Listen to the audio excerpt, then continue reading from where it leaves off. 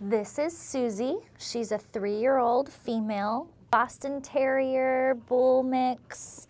We're not exactly sure, but she's super cute.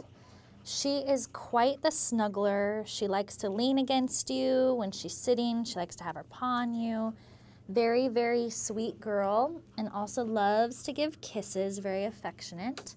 She's very treat motivated. She has the most adorable face with all these cute little polka dots. And really cool, she has a special talent, people. She can do taco tongue. Check it out. She's got a cute little face and cute little curled up tongue, and that's really, really adorable. This girl, to me, is the perfect size. She's a small, medium dog. She's about 44 pounds, and she's the perfect pocket size, so she'd be good for a house or apartment or condo. And I think she would get along with just about any person that she meets.